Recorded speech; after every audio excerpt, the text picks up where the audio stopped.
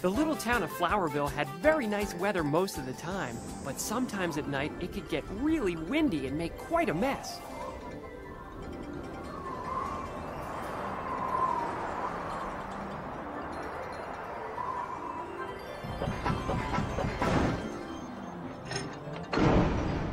The windy winds didn't usually cause much damage, but when they blew really, really hard, accidents could happen.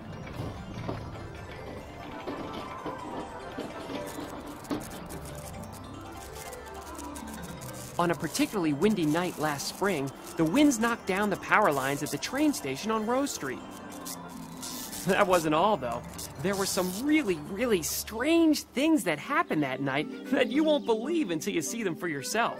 It wasn't until early in the morning that the emergency calls started coming in.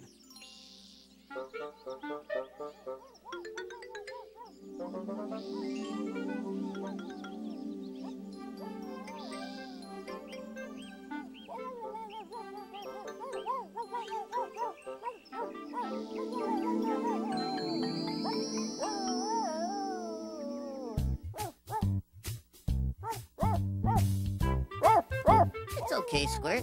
The wind can't hurt you in here, and I'm sure it'll stop blowing pretty soon. I mean, it can't keep this up forever, can it? He always barks when it's windy. That's because Squirt is afraid of the wind. Well, I still think that's silly. Come on, Squirt. Don't be a scaredy cat. Nothing's gonna happen to you inside the firehouse. What in the blazes was that? I think he's trying to tell us something. Don't you, Tip? I think he wants to go out. Someone give him a biscuit. Squirt, be quiet, noisy dog. Something has him very excited. Ruff, ruff. Maybe we should let him out and follow him. Without warning, Chief McSpeed appeared in the firehouse doorway and quickly told the fire trucks that the lines at the train station had been blown down indeed, and Squirt was trying to warn them about it.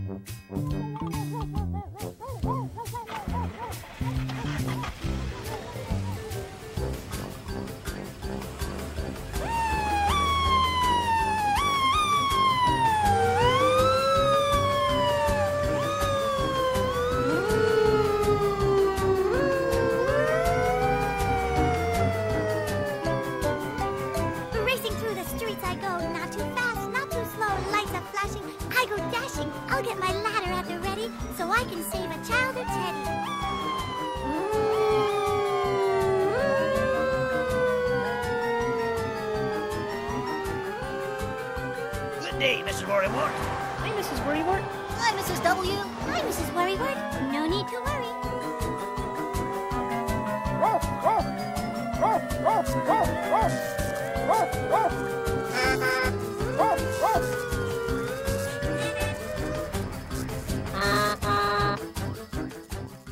Firefighter Bo secured one end of the broken line while firefighter Oscar secured the other. The electric company turned off the power and the emergency was soon over. Everyone was safe and Squirt was a hero.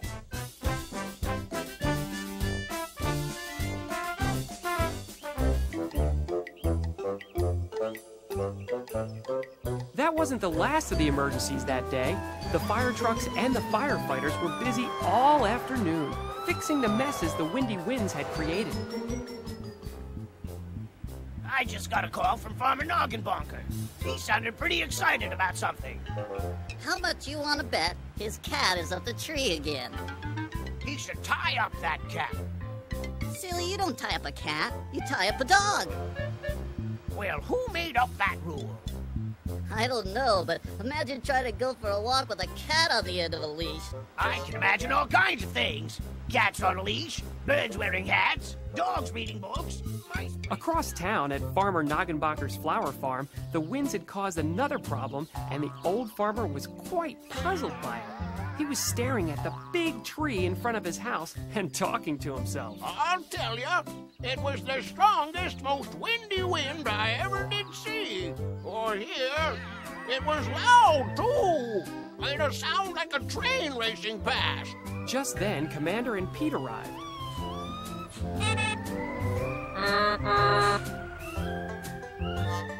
I told you. Didn't I say? Didn't I tell you? It's the cat. Come down out of that tree, you silly cat. Commander, you're only partly right. What do you mean? Look up and you'll see.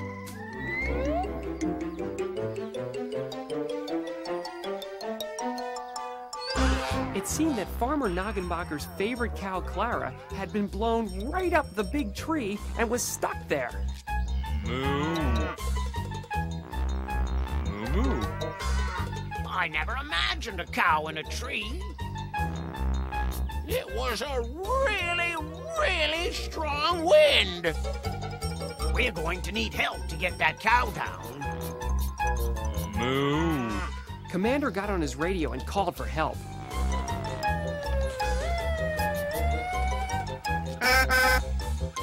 Lakey soon arrived and carefully hoisted her long ladder high above the trapped cow.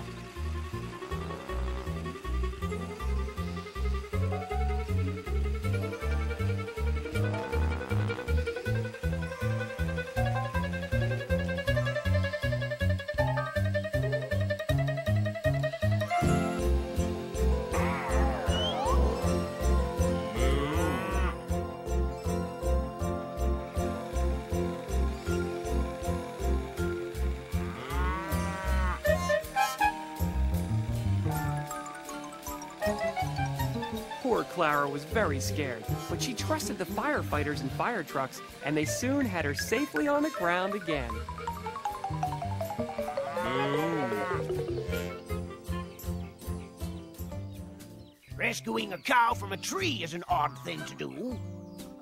I could imagine a sheep or a goat. Or even a mouse. But not in a tree. Better a house. A cow up a tree? That seems silly to me. Me too. Moo moo. Moo? Do you think that means anything? It means thank you in cow talk. Well, you're welcome, Mrs. Cow. Now that Clara was safe on the ground where she belonged, the fire trucks headed back to the firehouse to get some very needed rest after a long, busy day. Before I forget, I have an apology to make to Squirt. So do I. We thought you were a scaredy cat and afraid of the wind. But you were really just trying to warn us about the electrical wires. Squirt, you are the bravest firehouse Dalmatian in the world. And our very best friend, too. So never, never stop barking. Unless you start talking. That was good. Thank you.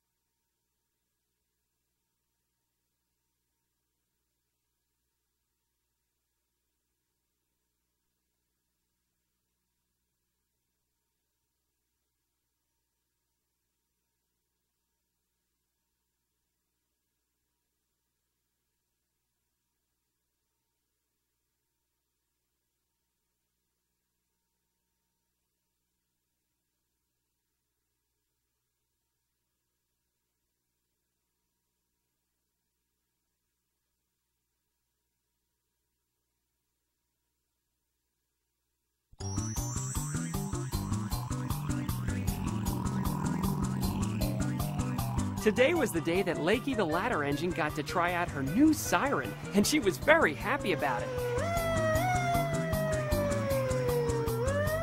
We need loud sirens so people can hear us fire trucks from front to rear. We travel so quick and get there so fast. I race on ahead. I'm never the last. We hoist up our.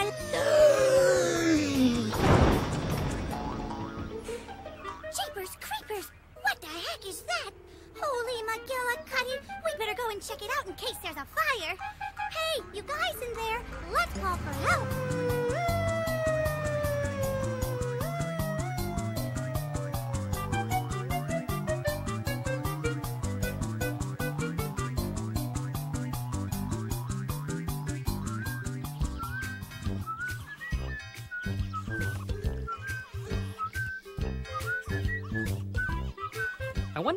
Wonder where is, Pete. She should have been back by now.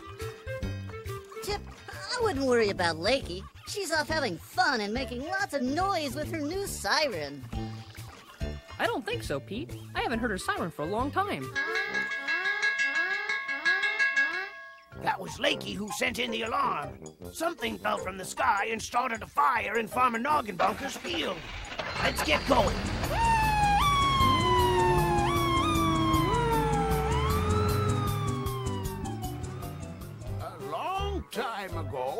It was me who saw something that fell from the sky. I knew it then and can honestly say it was the greatest, most wonderful day.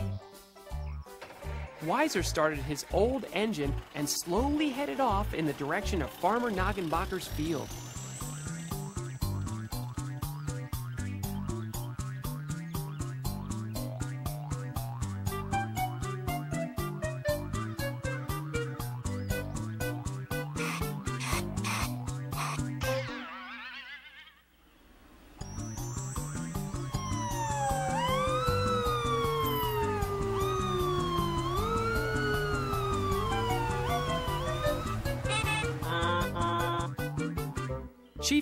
Chief McSpeed and firefighter Oscar hurried over to see the hole in the ground. Any idea what fell from the sky, Lakey? No, Commander. When I got here, all that was left was a smoldering hole in the ground.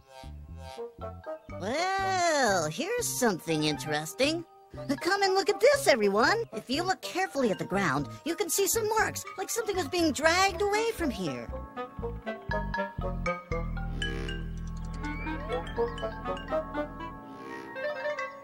Was probably made by Farmer Noggenbonker pulling something behind his tractor. I mean, what else could it be? At that very moment, Wiser arrived on the scene. I came as fast as I could. What did you find? Just this hole wiser and some marks in the ground. Hearing the sirens in his field, Farmer Noggenbacher drove up on his tractor to see what was happening. Maybe people will believe me when I tell them some of the things I see out here plowing the fields. My, my, my. This can mean only one thing. They've come back. Would you please explain to me what you are talking about? What was that? Don't make any noise.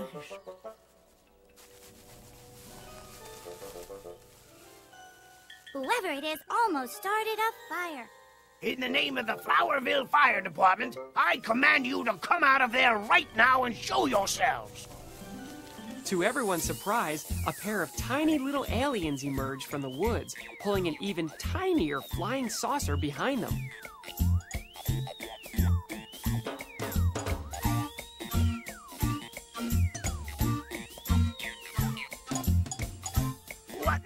In frozen raspberries are they?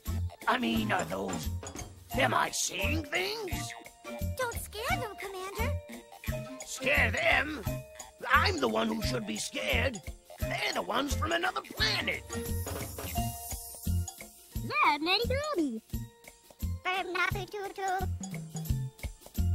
N- now, wait a second. The little aliens move toward Lakey, floating just above the ground.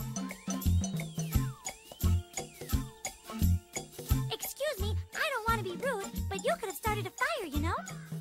Oh, dirty bye bye. Nargib, naughty blum. Do you think they understood?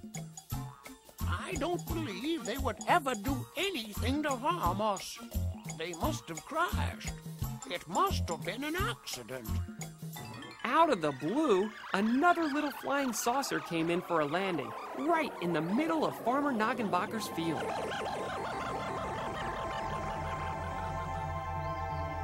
I'm dreaming, aren't I? Oh boy, I think we need more help.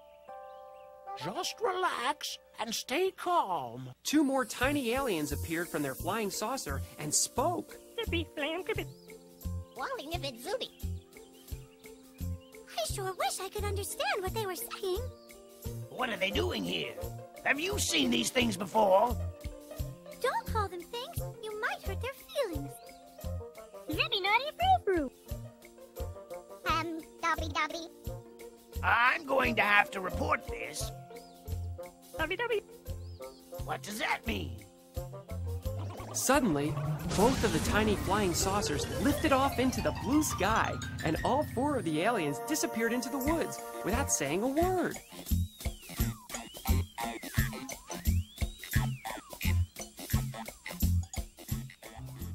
First time I ever saw one of them up close like that. They are usually very shy and don't like to be seen. They seem very friendly. Now, let me get this right, Farmer Noggenbonker. Are you saying you have actually seen these little tykes before? I sure have, lots of times. I just hope they realize how dangerous it is for them to land like that. They could cause a fire. We need a plan. We have to do something.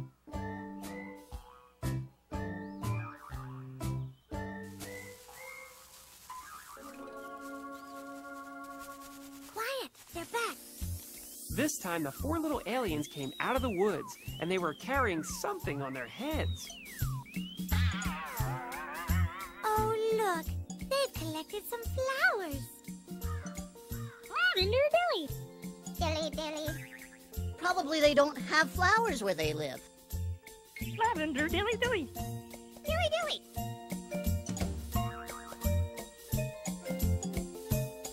The four aliens' tummies lit up brightly, and a strange sound filled the air. Soon after, a pair of flying saucers appeared overhead and landed safely in the field.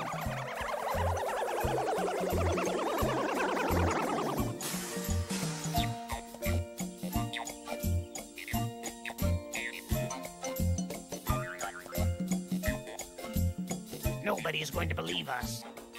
Sure they will, Commander. Everyone loves flowers. They're the most beautiful things on Earth.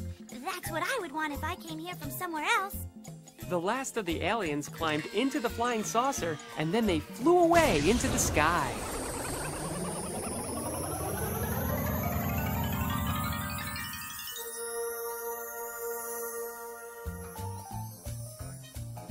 What do you think they do with the flowers? Maybe they eat them. Or sell them. Do you think they'll ever come back? I think as long as we have beautiful flowers, anything is possible.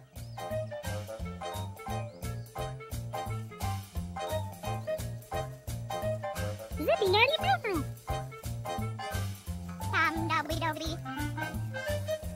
Lavender dilly.